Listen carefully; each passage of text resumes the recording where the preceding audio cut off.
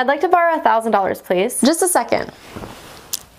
Hey, mister, would you like to open a bank account? Okay, that sounds like a great idea. Is $1,000 enough? Perfect, thank you.